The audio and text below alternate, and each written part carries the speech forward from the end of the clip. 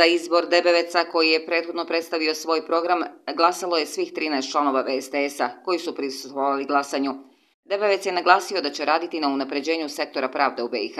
U prvom redu na unapređenju kvaliteta i poboljšanju efikasnosti i odgovornosti rada suda, ali i na unapređenju institucionalnog razvoja suda. Predsjednik VSTS-a Halila Gumđija nije prisustvovao u izboru predsjednika suda BiH zbog činjenice da je i sam sudija suda BiH.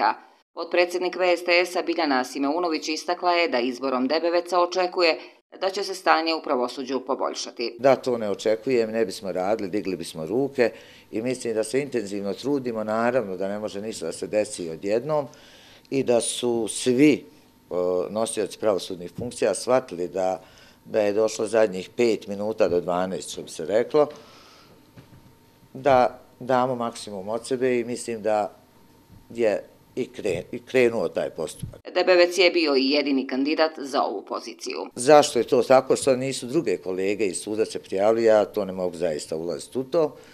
U toku je izmjena pravilnika, on je već i prihvaćen, da se ne mora prijavljivati samo iz reda sudija tog suda, nego da mogu da se prijavljuju i kandidati, odnosno sudije koji ispunjavaju uslove ili tužioci iz drugih sudova. Taj pravilnik je prihvaćen, ustvojen i čeka se realizacija. Dakle, u budućem vremenu će moći i drugi kandidati izvan sudova, što smatramo da će doprinijeti eto, većoj transparentnosti i mogućnost da se prijave i drugi. U programu rada Debevec istakao da će sud ići na što više aktivnosti koje se odnose na jačanje pravne države, vladavine prava, borbe protiv korupcije i organizovanog kriminala i naglasio da će se voditi računa da se što brže i efikasnije odlučuje.